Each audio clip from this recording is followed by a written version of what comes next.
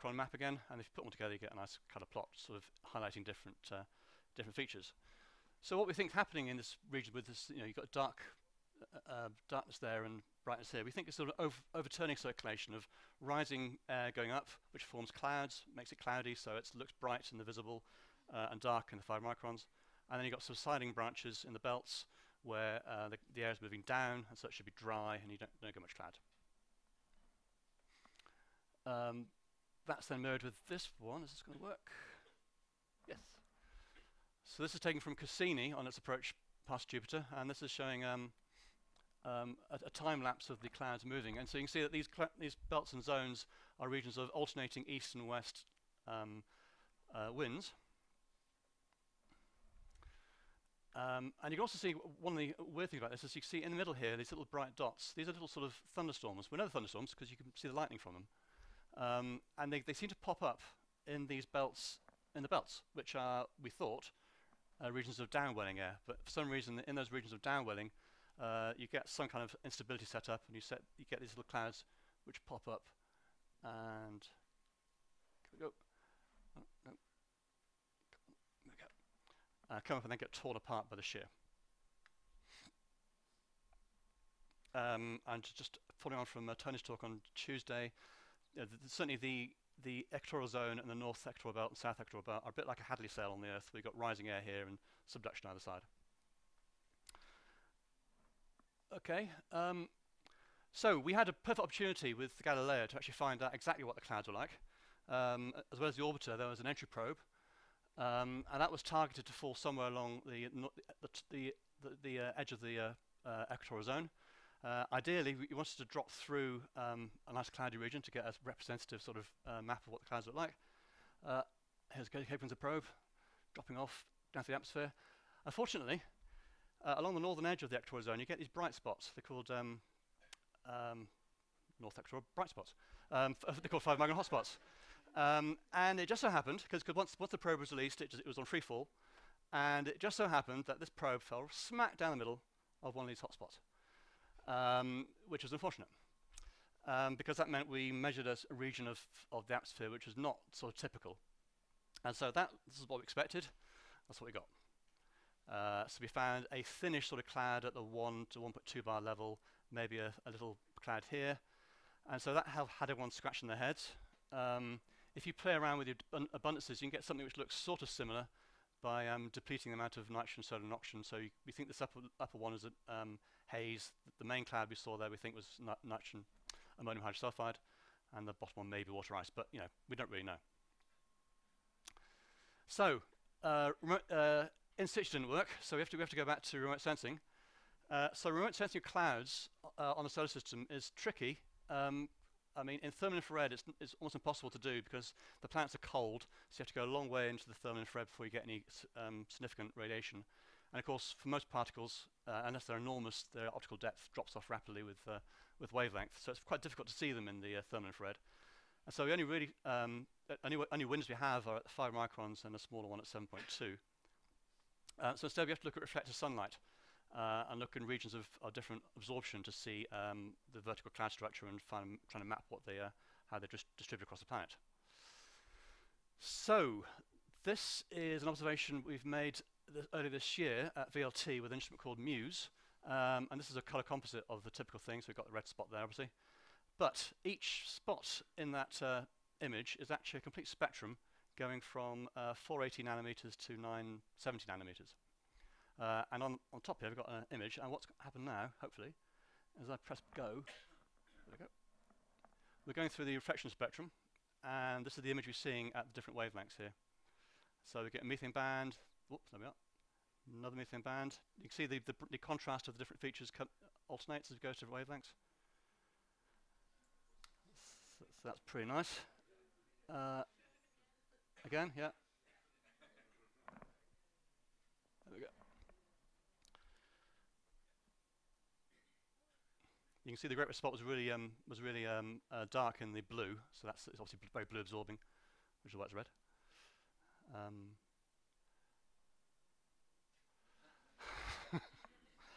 So, so they're pretty cool. I've, got, I've, got, more of these, don't worry. Okay, so to constrain the two cloud retrievals, and constrain particle size, which we heard earlier on the week, that ideally you want to have as broad a wavelength range as possible you know, to sort of uh, to try and match, because uh, obviously there's a it's a degenerate problem. We're trying to uh, figure out something difficult from uh, a finite number of data points. Um, but um, solar system observations are obviously disk resolved, and cloud features are highly structured. Um, uh, and individual instruments tend to come cover a limited spectral range and uh, and because of that, they tend to be an analysed in isolation of, each other. It's quite rare to get um, um, studies which take a, a, broad wavelength range and try to analyse them all together. And that's not just because planetary scientists are, are bloody minded. That's because um, these clouds are very highly structured and rapidly varying temporally with time, right? Um, so it's very difficult to look at the same point on the, on the surface at the same time with different instruments and try and map them together. It's quite difficult to combine together because everything's changing all the time. So that tends to mean that uh, uh, we uh, people develop sort of ad hoc models which are simple enough to interpret their individual obs uh, observations, but that means there's a whole uh, uh, zoo of different sort of solutions to what the cloud structure of um, of Jupiter and the other solar system planets should be. So.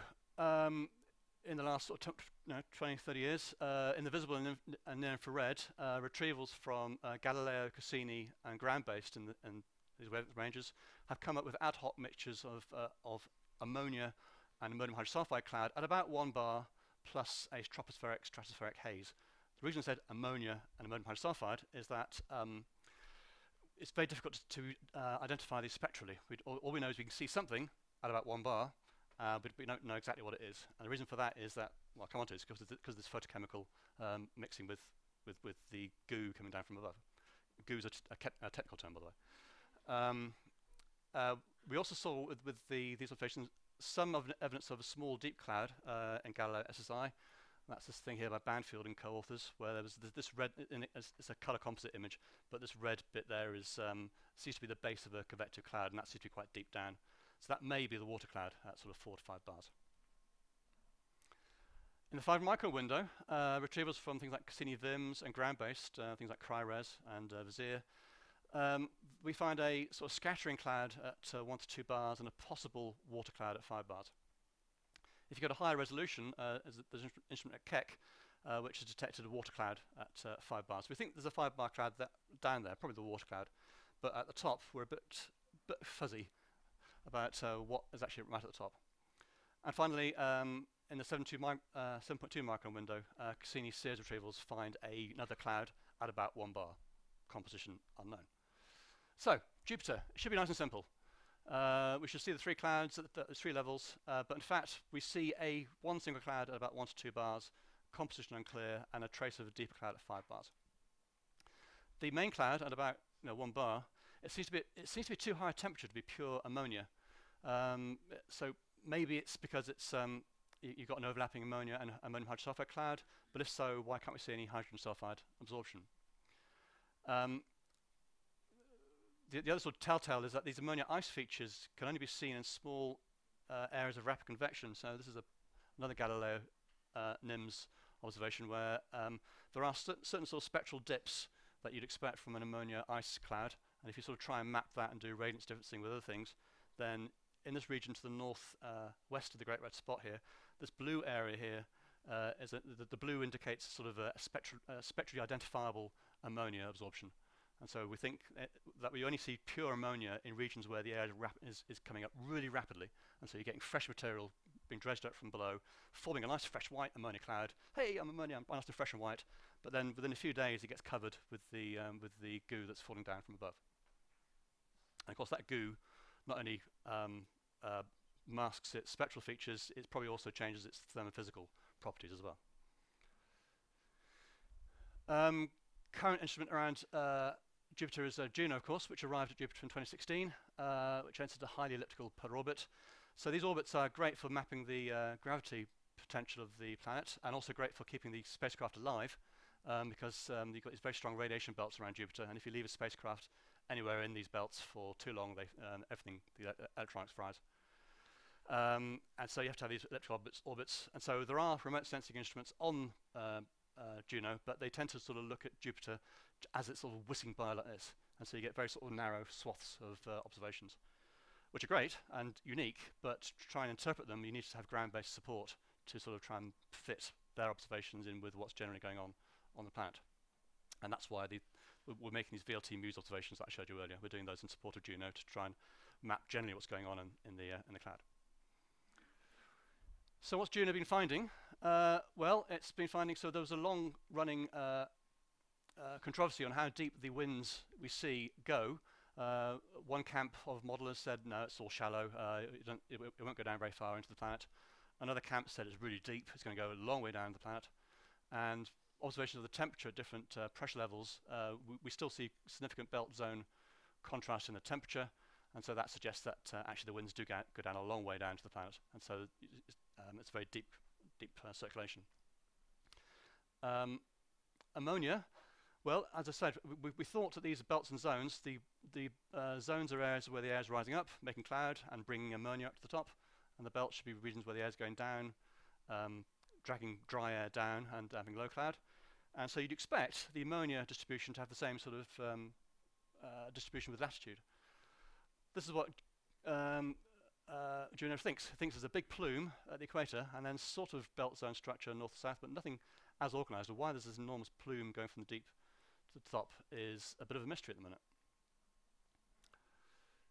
So that ready? Um, eventually, we hope that Juno will be able to tell the deep water abundance, um, but to do that, it needs to, it needs, it needs to disentangle ammonia and uh, temperature first, and they're still working on that.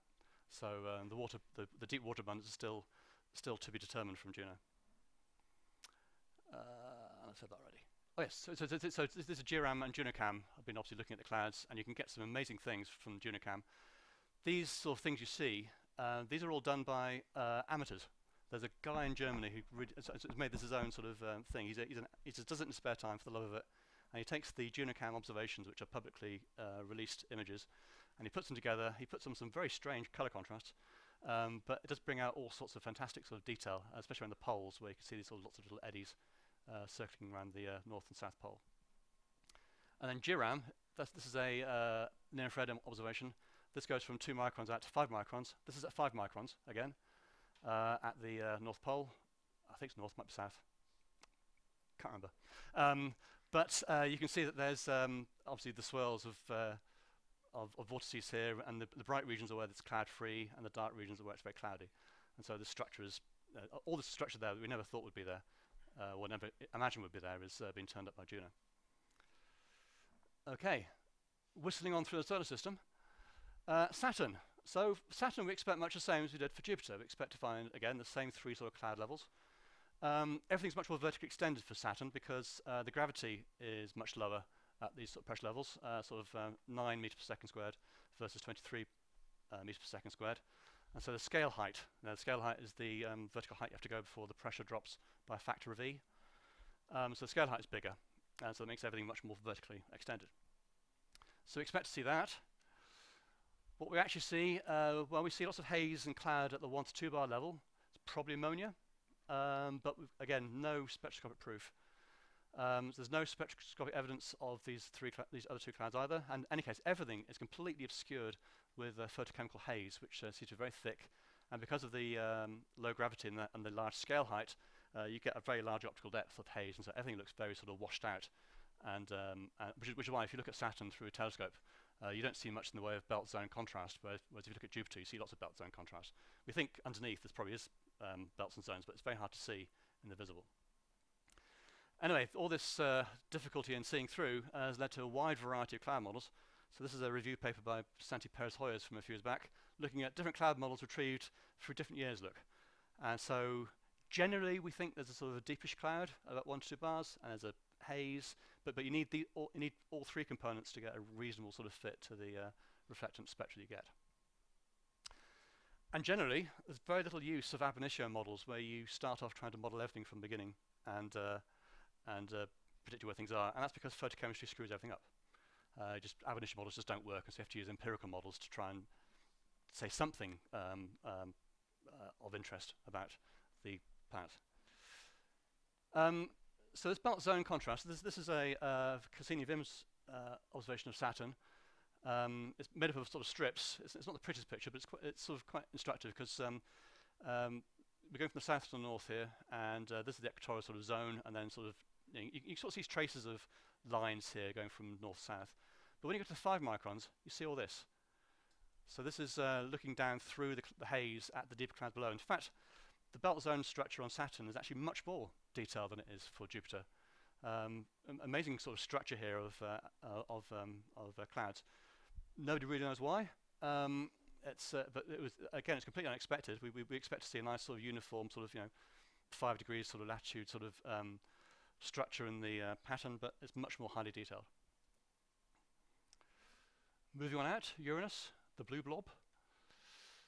Um, so for, these, for Uranus and Neptune, we, we expect something pretty similar actually. Uh, they, have got very similar temperature pressure profiles, and we think they're a similar sort of composition of um, material.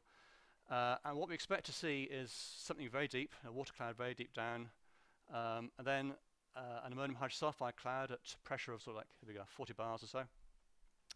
Depending on whether you have more ammonia or more hydrogen sulfide, whatever gets left over from forming ammonium hydrosulfide should condense above up here. In this model from uh, uh, there's more ammonia, and so you've got an ammonia ice cloud forming uh, at the top. And then we expect to have a massive cloud of uh, methane ice right at the top, because meth uh, methane it makes up two to four percent of the bulk composition of um, of of Uranus Neptune. So it's a big big component, and so it should make a whopping great big thick cloud. What we actually see, uh, we see a thick uniform cloud at about the two to three bar level.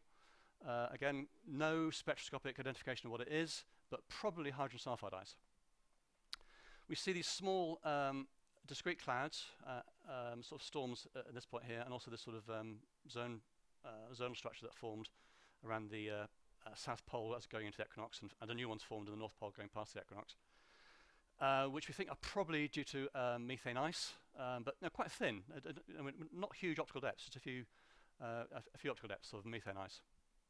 So that means there's something inhibiting the formation of methane cloud. Um, what that is no one knows. Nobody knows. Um, maybe that it's forming so quickly that it immediately rains out. Uh, that, that's one idea that's out there. Um, but another complication for this, of course, is that for um, uh, for methane, you know, it's making up 4% of the mean bulk of the gas, and so when it condenses, it releases a huge amount of latent heat. So that's going to really um, be a, a, challenge to any sort of cloud condensation model. Um, and it also changes significantly the mean molecular weight of the air, of course, because um, as soon as you condense some of that to methane, then the surrounding air then is much as less methane than surrounding air, and so it's going to be much more buoyant, and so it will go presumably. So I, I, assume what's happening with the deep cloud is that every every time it forms, it forms really quickly and just goes goes goes goes, you know, goes wild and releases probably a, lo a, lot of methane rain. But again, uh, the cloud condensation model just doesn't work. For Neptune, so obviously with Jupiter, so um, Vo uh, Voyager had a better time at Neptune. There was, there was, something to see at Neptune. So you can see there's uh, bright clouds and uh, dark spots and things. And uh, in some cases, you can see the, uh, the, the this cloud's called the scooter, and that was with a great dark spot there. And last image here was near the edge. You can see that these clouds at the top are the, the, the sun's from the side here, and you can see the clouds casting a shadow on the main cloud deck um, below. So there's, there's, there's detached clouds. Again, we expect to same, see the same things we did for uh, Uranus, the same three clouds, but again, we don't see that. Uh, we again see a thick uniform cloud at two to three bars. Um, again, can't tell what it is spectroscopically, but probably hydrogen sulfide. We see these um, methane um, uh, ice clouds in the sort of 800 to 200 millibar region. Um, and, and uh, uh, Neptune has a much more in the way of, um, of, of uh, photochemically produced haze there seems to be a lot more sort of activity in the bottom of the atmosphere which punches up a lot more methane into the stratosphere. Uh, and that obviously gets fertilized and forms all sorts of uh, chemical products like uh, ethane and acetylene and ethane. And as they form and, drizz and, drizzle down, they eventually get their, reach their condensation point and form sort of these, these detached hazes of material. Uh, and eventually will form heavier products and carry on trickling down through here and then coat everything down that's forming freshly down there. Um, so same story for Uranus, basically. Um, uh, we, we, expect to see really thick methane clouds. We don't. Uh, we again got the issue that the methane uh, uh rich air is going to be much denser than the surrounding air. So how do you get the clouds to form in the first place? Uh, and again, the, our, simple, our simplistic model just doesn't work. So comments. Um, cloud formation on giant planets is not as simple as we thought. Um, and I'm guessing it's probably not as simple as we, as we think on exoplanets either. Um, for, for, the solar system planets, um, it's, it, it's, probably because the planets are so cold that uh, photochemical products produced high uh, above greatly complicate matters. And the other big thing we ha uh, problem we have at the solar system is that we just don't really know the bulk composition very well because everything's so cold we can't see down deep enough to really determine what the bulk composition is. And again, that should be easier for hot planets where uh, everything is well mixed and uh, you can see everything up at the top. Okay, um, moving on to a bit about retrievals and how we deal with all this. Um, so, I, you know, ideally to do a forward model and do retrievals of things, we need to know what the clouds are, um, but we don't know what the clouds are. Um, we, we, we, we, see, we know that they're not pure condensates, but we don't know what they're contaminated with. Um, yep.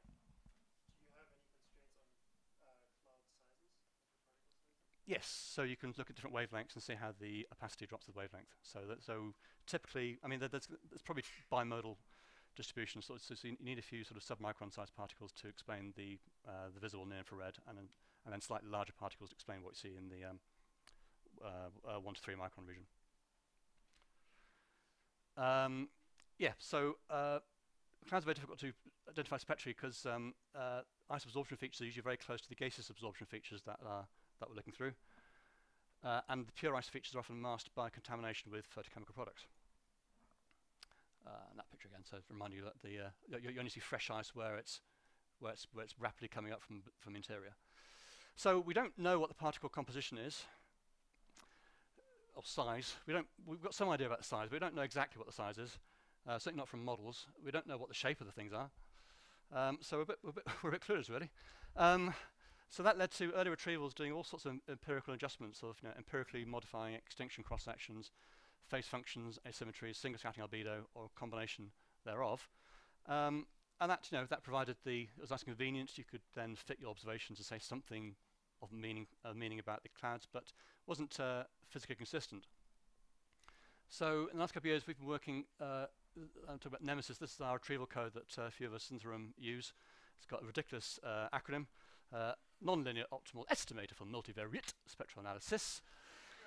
Uh, why it's called that, I can I'll tell you over beer tonight, if there is any beer tonight. Um, uh, it was originally developed for the solar system studies, um, uh, for Cassini CIRS mostly, but we've, we've since extended it for looking at uh, exoplanetary observations and direct imaging. Uh, and the core retrieval code is based on optimal estimation, but we've now got a branch which does Bayesian nested sampling retrievals to fit in with everybody else. But um, refractive index, we, have we've been um, doing this work now with refractive index retrievals, where you know, because we can't put in what the material is made of, we have to sort of um, try and back it out from the observations directly. And so the scheme we've come up with is to, uh, uh, first of all, we, we, we, we have to fix the, the real part of the refractive index to a certain value at a reference wavelength. And then we uh, define a model imaginary refractive index spectrum, uh, and we try to fit that to the observations at each iteration um, so, we, so we're fitting a refractive index spectrum, and we also try to fit the mean particle size and the size of the variance, so the variance of the size distribution, sorry. And then once we've got an imaginary refractive index spectrum and an assumed real abundance, uh, real refractive index at one wavelength, we can uh, reconstruct the real, the real refractive index uh, using the Kramers-Kronig relation. It's not absolutely accurate because we've only got a limited wavelength range, but it's, it's sort of moderately correct. And then from that, we can then compute extinction cross-section spectra, single scattering albedo spectra, and phase function spectra uh, using Mie theory.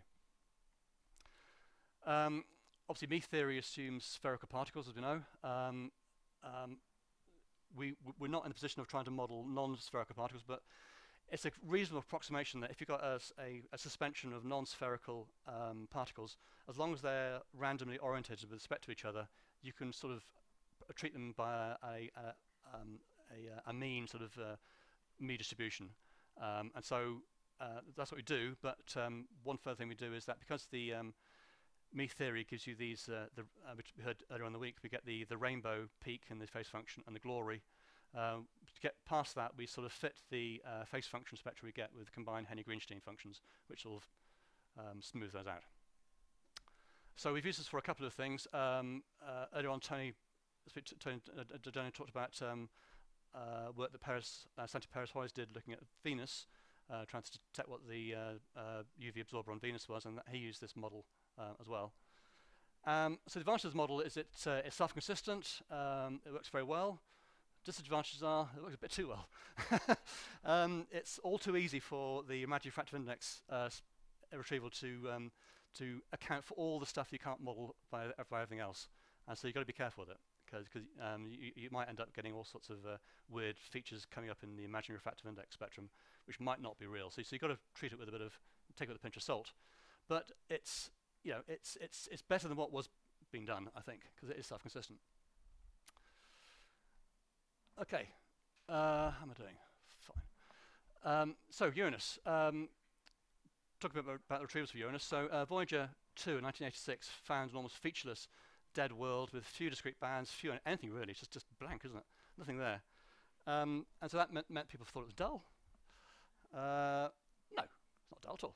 Um, it just happens to be that uh, Voyager passed by uh, Uranus uh, close to its southern summer solstice, and Uranus's orbit's almost entirely over on its side, um, and also Uranus has almost no internal heat source, so it's entirely solar driven. Uh, and so what's happened is at that point when the sun, the sun, the southern pole was towards the sun, the atmosphere was very quiescent, wasn't really doing much at all. But as it's moved on through its orbit, so that's now, um, so it got side on to the sun in 2007, and so, so you got the sun is now going from the south pole to the equator to the north pole, and that massively changing solar insolation has led to a massively changing distribution of clouds. Uh, and so as we approach the equinox in 2007, uh, we had this bright uh, belt appearing around the um, south southern pole, also discrete clouds here, which we think are convective clouds. And then as we went through the equinox, this, this belt faded, but a, um, a Najas belt in the north brightened. Uh, and so we're going through here now to the north, where we are, 2014. Uh, and now the, this zone around the pole is getting brighter, and you've got lots more convective clouds. And eventually, I assume what will happen is uh, it'll get quietened down again. When we get to the northern solstice, it'll, it'll look dead and boring again, and then we have to wait until we move on the orbit. Circulation-wise, um, looking at the near-infrared cloud activity, um, we think these bright regions are probably regions of upwelling, um, but you, you, you, you, can do cloud retrievals of this, of this, but to do cloud retrievals, you need to use um, methane as your gas to determine how far down you're looking, uh, which is fine for Europe, for Saturn and Jupiter, um, but for uh, but for uh, Uranus and Neptune, uh, actually, uh, actually now realise that the amount of um, methane varies with latitude. Um, if you look here in the region of uh, high methane absorption here, you, you can see that it's, it's, brighter at the pole and dark here. And you might assume that meant that the hazes were higher over the pole than they are at the equator.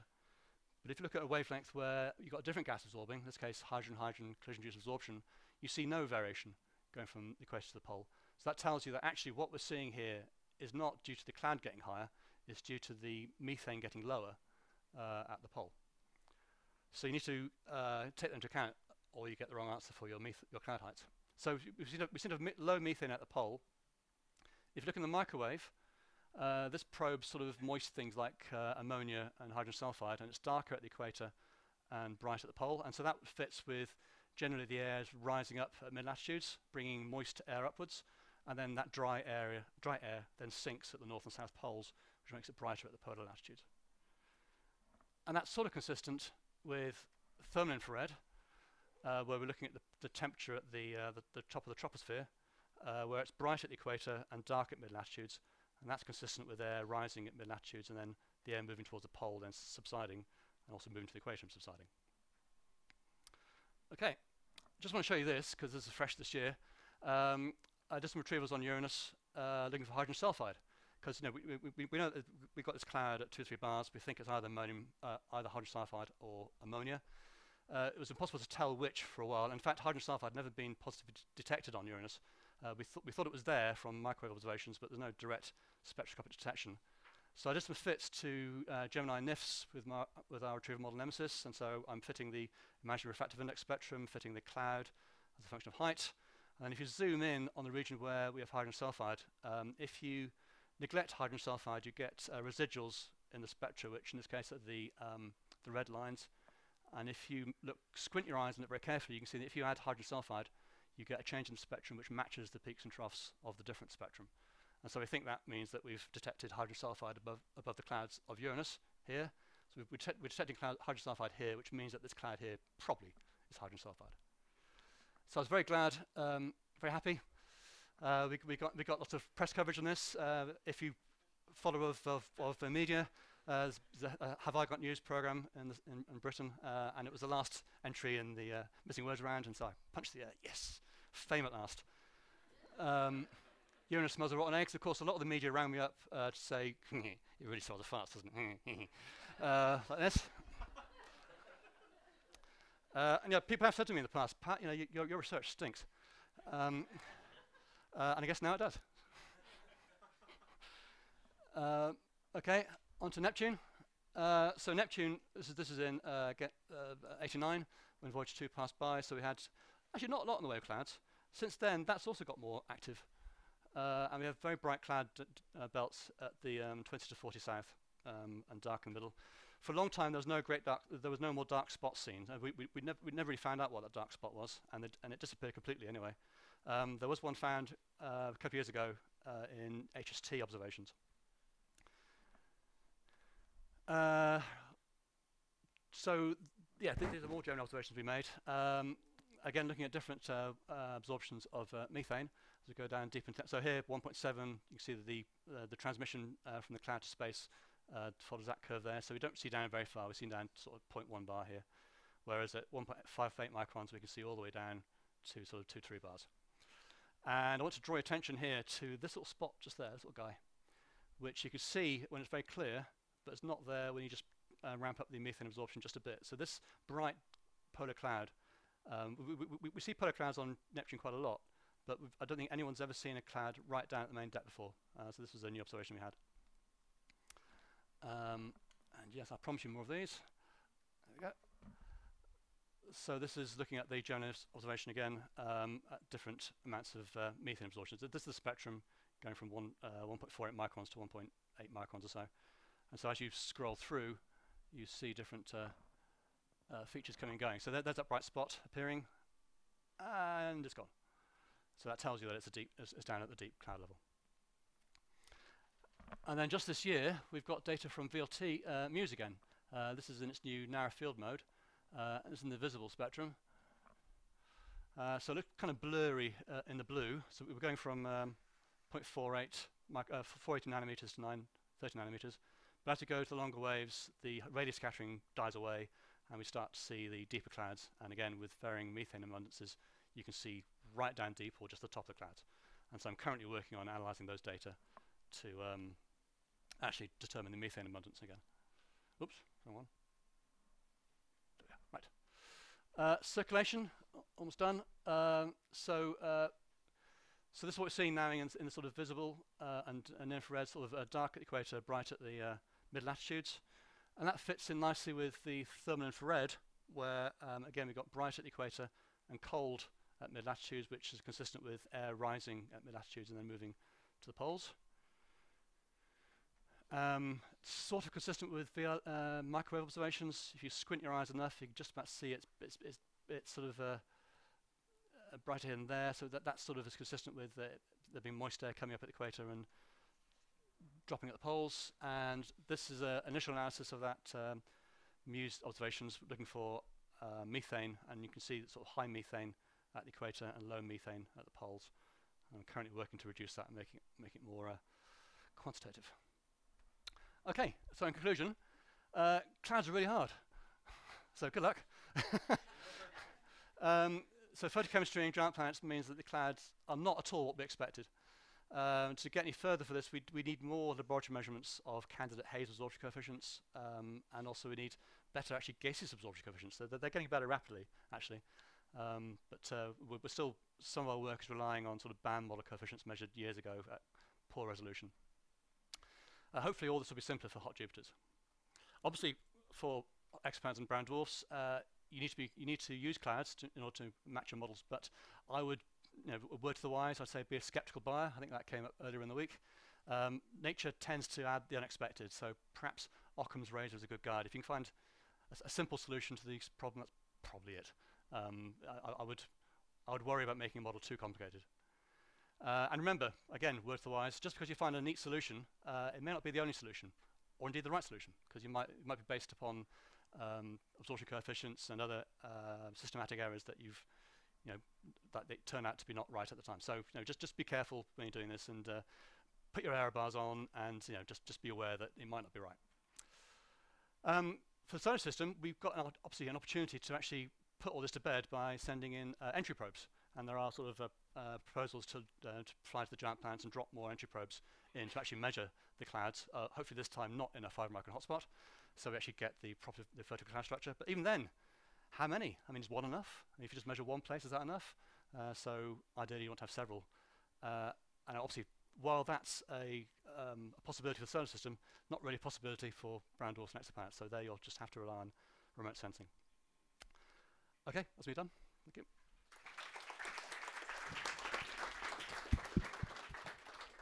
Questions? Uh, let's start in the back with Laura.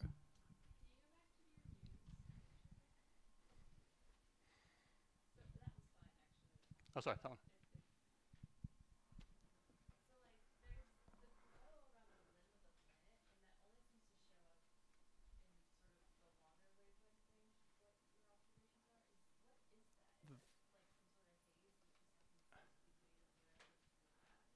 Yeah, it's just haze. So it's, it's, it's limb brightening of the haze. So they've got the haze is up high, and so and in regions of strong absorption, as you go towards the limb, you get a longer sort of path length of haze, and so it looks brighter towards the limb.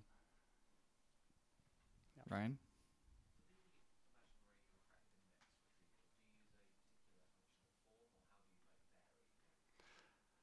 Um, so, in, so we specify a certain wavelength grid, and then we specify a certain correlation length between those in the retrieval setup that we, are doing. So it's, it's, it's, an optimum estimation retrieval setup for that. There's a question over here.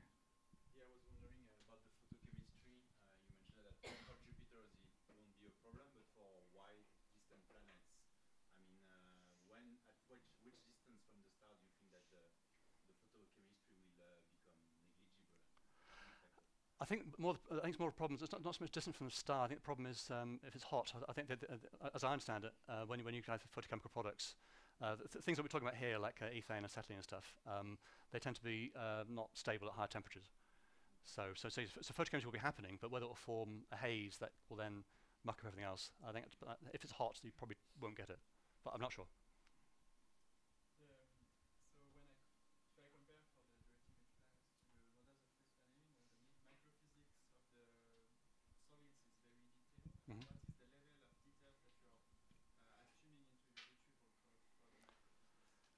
None whatsoever.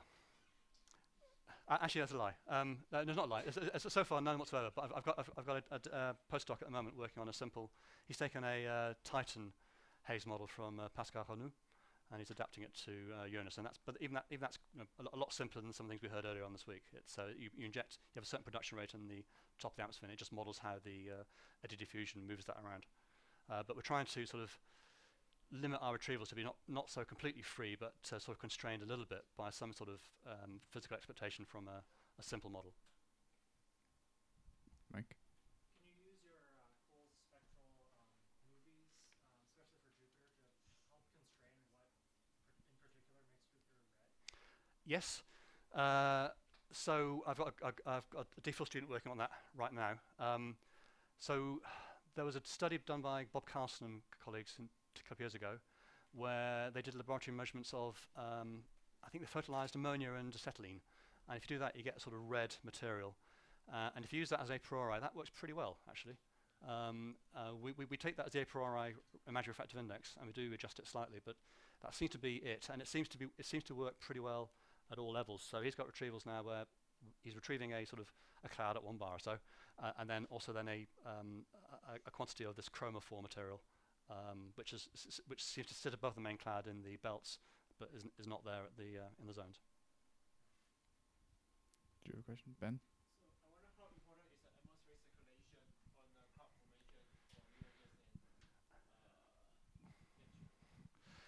Yeah, I mean, I mean, one thing surprises me on Uranus Neptune, the, the, main cloud, uh, two three bar, it's really uniform.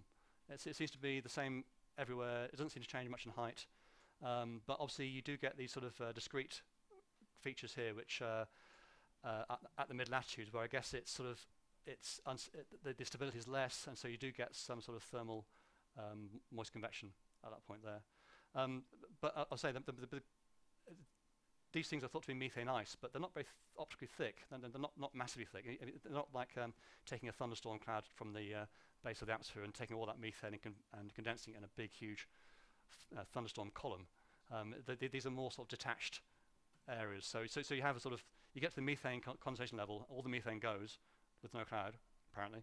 And then, but obviously there's, there's, there's still methane in the atmosphere, and then uh, higher up at sort of like the 500 millibar level, there seems to be some instabilities which forms a, a local convection at that point, and then the methane that's in that column will condense, and so you get these sort of uh, clouds there. But obviously you're starting off with a lot less methane, and so you get you get a thinner optical depth cloud.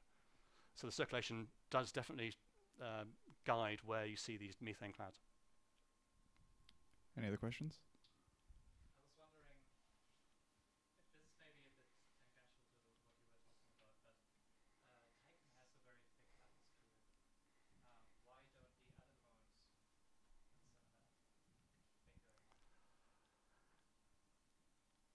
Um, why is that? Um, got to judge my memory banks now. Um, there's a simple answer to that. Um, oh, there we go. Um, it's um, yes. So uh, there seems to be s- so Titan's atmosphere. It's um, it's nitrogen and methane. Um, it turns out it's just got just enough methane for the greenhouse effect to keep it warm enough to keep the methane in the atmosphere and the, and the ammonia in the, in the, uh, the nitrogen in the atmosphere. If it were slightly cooler, then uh, the whole atmosphere freeze out. It would go. Um, so then the question is, uh, why are we seeing the atmosphere now? Um, and it could be that there's, there's like cryovolcanism, which sort of uh, injects methane into the atmosphere and then makes it warm enough to get the rest of the atmosphere up. Um, or there's obviously there's obviously ev- evidence for uh, methane and ethane lakes. So, so there could be a huge sort of subsurface um, thing. I, I think th- there's going to be some sort of tidal heating, I guess, from um, from Saturn, and, and also Titan is big, so it's, it's, managed to hold on to a lot of its sort of stuff and not get too cold. Um, but I can't give you any more detail on that. Any other questions? If not, let's thank Pat again.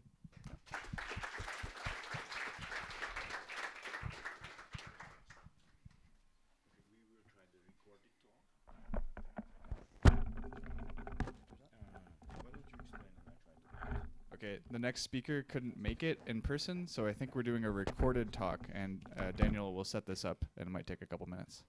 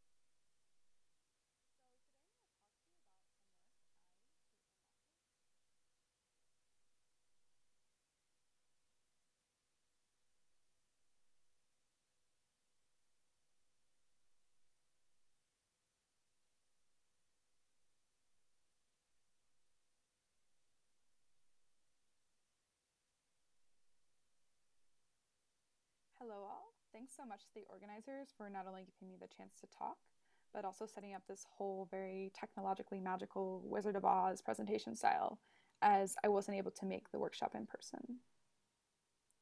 So, today I'm going to talk to you about some work I, Kaitlyn Loftus, have been doing with Robin Wordsworth and Caroline Morley on how we can exploit the sulfur cycle to learn about surface water on exoplanets. One of the big excitements of our growing ability to observe and characterize exoplanets is the chance to place Earth quantitatively into the context of the larger universe.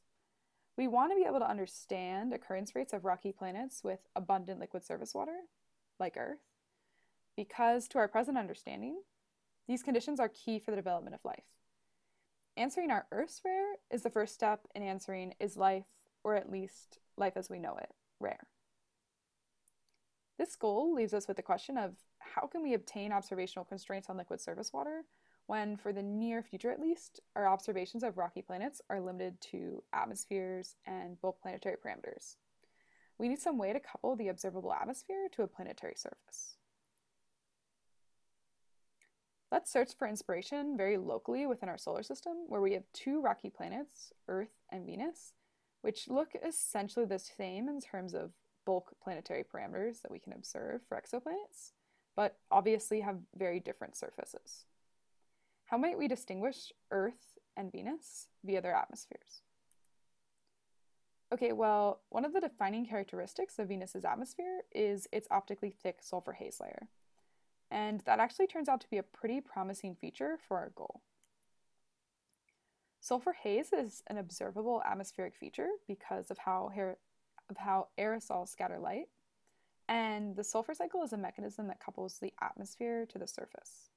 So, can we tie in the presence of surface water to the presence of aerosols to complete our link of the observable atmosphere to liquid surface water? I'll spend the rest of my talk trying to convince you that the answer is yes, but here let me take a second to sketch out why we might expect that yes. Highly soluble sulfur is preferentially stored in the ocean over the atmosphere. We need to get significant quantities of sulfur gas into the upper atmosphere in order to get aerosol formation to create a haze layer that's observable. But adding an ocean, which acts as effectively a sulfur storage center, will mean we require many orders of magnitude more sulfur than in a system without an ocean to create an equivalent observable haze layer. At some point, the planetary surface will run out of sulfur, and making enough aerosols for an observable layer won't be possible. So, with this qualitative argument in place, we now want to investigate more quantitatively and more in depth can a planet with an ocean sustain a radiatively significant sulfur haze layer? i.e., relating this back to our original intent of constraining liquid surface water, can the observation of an optically thick sulfur haze layer diagnose the absence of a liquid water ocean. We're going to start by asking what does a sulfur cycle look like on a wet planet, aka one with a water cycle and stable liquid surface water. We can think about different reservoirs of sulfur within our sulfur cycle. First, there's the interior versus the surface. Then on the surface, we have sulfur in four main areas the lower atmosphere, the upper atmosphere, surface rock, and our ocean, which we're assuming is present. Melt from the interior outgasses sulfur to the surface. This gas then reaches the upper atmosphere via mixing, where photochemistry and microphysics can then conspire to convert it into aerosols. Depending on their size, these aerosols either gravitationally settle or dynamically mix out of the upper atmosphere into the lower atmosphere. On a dry planet, our only paths to the removal of this atmospheric sulfur are slow reactions between the gas and surface, or aerosols that don't evaporate during their time in the lower atmosphere and settle onto the surface. However, on a wet planet, the oceans the ocean wants to dissolve sulfur gas until Henry's law is satisfied. This equilibrium between the atmosphere and the ocean is strongly dependent on pH, but for expected near neutral pHs for large bodies of water in contact with rock, we're talking about millions or billions of times the amount of sulfur in the ocean versus the atmosphere.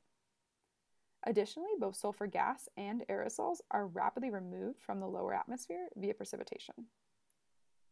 So, in our wet sulfur cycle, both the atmosphere ocean equilibrium and rain limit our ability to form aerosols. Now, you'll probably notice that I didn't mention any specific sulfur species involved in that sketch, and that's because sulfur is a very flexible is very flexible in terms of redox chemistry, as it's stable between negative 2 and positive 6 oxidation states. So precise sulfur species involved in the cycle depend on the redox states of the interior, the atmosphere, and the ocean. We focus here on an oxidized atmosphere where SO2 is the dominant gas and H2SO4 water aerosols are the dominant aerosol species. We choose the oxidized atmosphere because the species are more soluble and thus more tightly coupled to the presence of water, and also because the photochemistry involved is better understood. Note we don't assume our hypothetical planets are necessarily as oxidized as modern Earth. With these thoughts in mind, we build a conceptual model of the oxidized sulfur cycle that greatly simplifies its component processes. Our model works by beginning from the premise of an observation of a sulfur haze, rather than beginning from initial conditions and advancing time forward. We first calculate the critical mass of of aerosols necessary for an optically thick upper haze layer, assuming the atmosphere and ocean are equilibrium. Two, translate that mass into a critical moles of sulfur in the ocean and atmosphere system. And then three, compare the resulting critical value to the expected moles of sulfur in the surface reservoir to see if that ratio is reasonable. So first, let's confirm the observational potential of our modeled sulfur haze layer. Here's Caroline Morley's simulated transmission spectra for the same Earth-like planet with and without an optically thick sulfur haze layer. We, unsurprisingly, see substantially different spectra. Determining our haze layer is composed of H2SO4 water aerosols is a bit more complicated of an argument than we have time for in this brief talk, but ultimately we think it's doable. I can discuss this more during questions if people are interested, but for now, onto our model's results on ocean and sulfur haze layer compatibility. This contour plot will show a summary of our results when we use the strictest assumptions possible to basically the point of unphysicalness to try to encourage the formation of a haze layer. On the x-axis, we have pH because it's crucial in determining ocean sulfur storage potential. And on the y-axis, we have number of Earth oceans in log scaling, where the center is one Earth ocean. The color bar shows the log base 10 of the amount of sulfur we need in the atmosphere and ocean to get an observable haze layer versus how much sulfur we expect to be in the surf surface reservoir. More qualitatively, this is a measure of the likelihood of an, of an observable haze layer forming for a given pH and water volume. Adding our color contours with the contour for needed sulfur equals expected sulfur highlighted in white here, we can see that haze layer formation is incompatible with significant amounts of water for the near neutral pHs we expect, even for our strictest assumptions. For Earth pH and volume conditions, we see that we require more sulfur in the ocean atmosphere than we have in the entire planet to form an observable haze layer.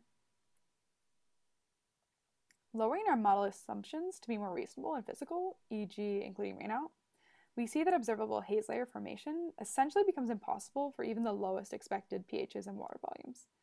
Everything in our pH ocean volume parameter space basically falls into the regime of unlikely to impossible for an observable haze layer to form. The plots I've shown here are for Earth-like temperature, surface pressure, gravity, and atmospheric composition, but our results are fairly insensitive to changes in these planetary scale parameters, suggesting our results are valid for a wide planetary parameter space. Thus, our model indicates that a planet with an ocean cannot sustain a radiatively significant sulfur haze layer i.e., the observation of an optically thick sulfur haze layer can diagnose the absence of liquid surface water. I also just want to explicitly state that we don't necessarily find the converse lack of a sulfur haze layer implies liquid water to be true. Because, for example, you could simply have a planet with insignificant sulfur outgassing. So now to wrap up and summarize, the sulfur cycle is a viable mechanism to couple the observable atmosphere to surface liquid water content because one, thick aerosol haze layers are observable in exoplanet atmospheres, and two, an ocean will preferentially store sulfur over the atmosphere, limiting observable limiting upper atmosphere gas available for aerosol formation. Our modeling indicates that the total amount of sulfur required in the ocean and atmosphere for a thick haze is likely unfeasible to impossible depending on ocean pH and size leading us to conclude an observation of a sustained sulfur haze layer indicates the planet has limited liquid surface water. And with that, I'll hopefully be able to take any questions you have. Thank you.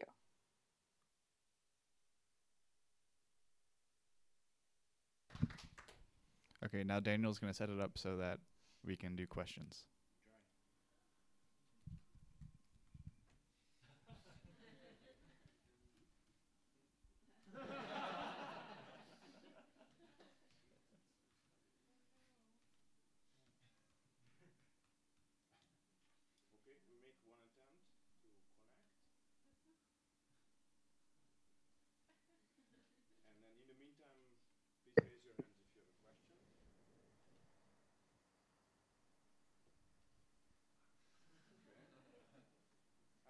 Can you hear me? Uh, yes, I can. Perfect. We can see you and we can hear you. Okay, great. Uh, we had very nice talk. It worked very well. Thanks okay, good. We'll have to give you a video, and then we have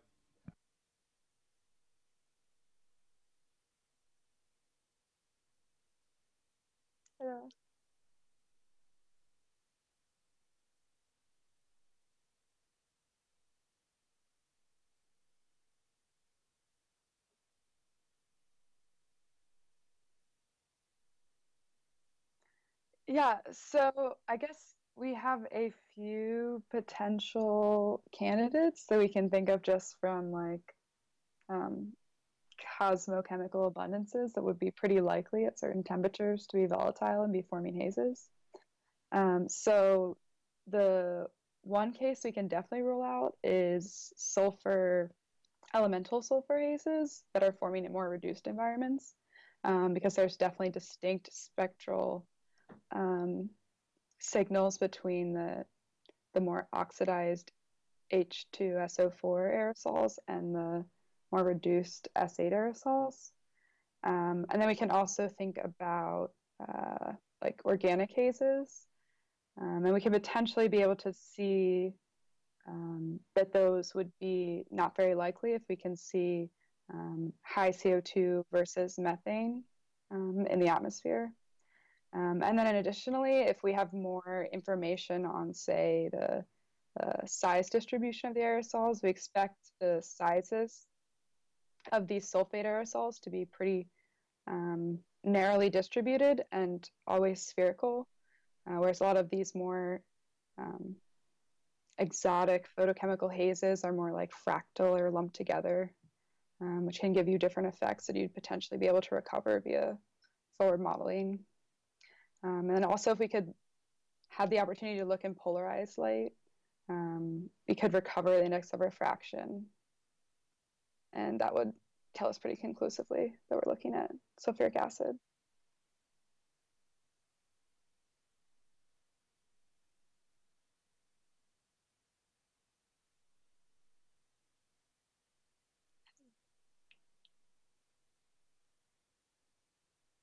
Mm-hmm. Yes. Yeah, so that's yeah, so that's kind of the case we're trying to control for. Um, but basically, we could potentially look at that kind of signal and then disappearance of the signal, so a transient kind of sulfic sulfur haze layer as potentially a signal that you have kind of an active hydrological cycle to very rapidly remove those aerosols. Um, because we wouldn't expect them to be able to last from kind of like a transient volcanic event for more than a time scale around a year or two.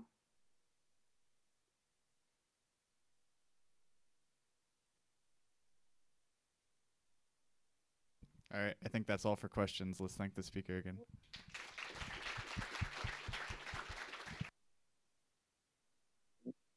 Thank you.